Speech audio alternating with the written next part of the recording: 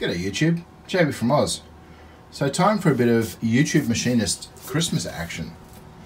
In the uh, Pratt Burnerd 6 drawer, I have an EC10 collet and inside that I have a piece of copper which I'm just going to face off uh, both sides and then I'll bring the basin cut and a copper, we've got a tailstock, we've got a Pratt Burnerd 6 drawer collets in place. Just going to let that run.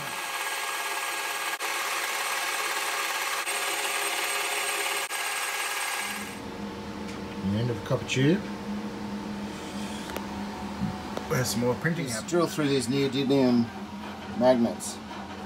And I've previously seen on YouTube how that's prone to causing fires. So we're going to take it a bit easy, see what happens.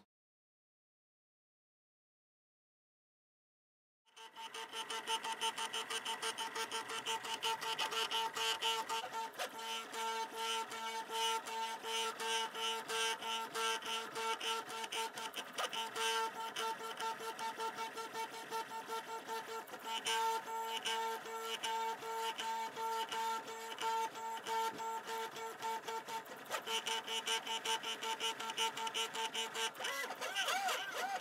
ha!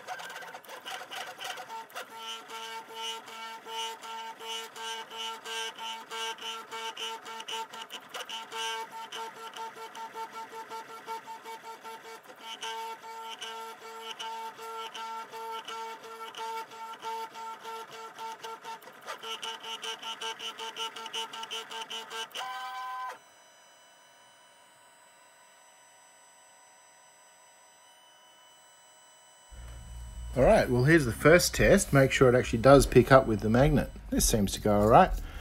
So then I finish up assembly and write my little message on it. Get it packed up, ready for Troy. This is his Secret Santa 2018 for the YouTube Machinist Group. Hope you enjoy this, mate. Um, I'm really looking forward to using mine. I've made two here, obviously. Um, yeah, simple project. And as a Merry Christmas to the rest of my subscribers, I'll be uploading all of the 3D print files, they're parametric, and um, yeah, you can adjust it to the copper pipe you've got or the rod you've got or whatever else like that for the 3D print parts. But yeah, what a handy little piece of stuff with some cheap little neodymium magnets from China.